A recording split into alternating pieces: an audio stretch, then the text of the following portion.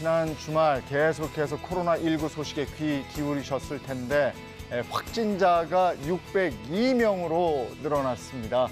에, 이렇게 확진자 수가 증가하면서 교육부가 전국 유치원, 초등학교, 중학교, 고등학교 개학을 일주일 연기하기로 결정을 했습니다. 이후 상황은 코로나19 확산 상황에 따라서 또 어, 유동적이다 이런 얘기고요.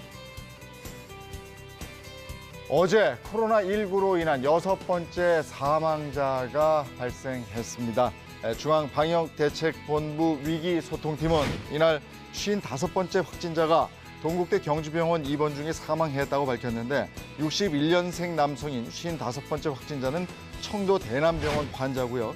지난 19일 확진 판정을 받았고 자세한 사망 원인에 대해서는 조사가 진행 중입니다. 네, 경기도 김포에서는 생후 16개월 된 여아가 코로나19 확진자로 어, 판정을 받았습니다. 네, 지금까지 확인된 국내 확진자 중 최연소고요. 이 여아는 이틀 전 확진 판정을 받은 김포 거주 부부의 자녀인데 어제 생후 16개월의 이 여자아이가 2차 검사에서 코로나19 양성 판정을 받고 분당 서울대병원으로 이송이 됐습니다.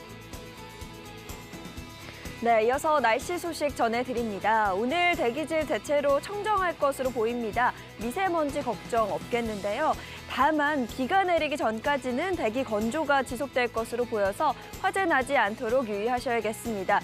특히 현재 건조주의보가 내려져 있는 강원 영동과 일부 경북 지역에 계신 분들 주의하셔야겠습니다. 오늘 전국의 하늘 표정 차차 흐려지다가 늦은 오후부터 비가 시작되겠습니다. 호남 지방에서 시작된 비는 경기 남부와 강원 영서, 충청과 경상도로 확대되면서 대부분의 지역에서 비가 올 것으로 보입니다. 오늘 아침 기온 보시면 오늘 아침 기온은 서울이 2도, 부산 5도 등으로 평년보다 2, 3도 가량 높겠고요. 한낮 최고 기온 역시도 10도에서 17도 선으로 평년보다 4에서 6도 가량 높아 포근하겠습니다. 하지만 내륙을 중심으로는 낮과 밤의 기온차가 10도 이상 크게 벌어져서요. 건강 관리 잘 해주셔야겠습니다.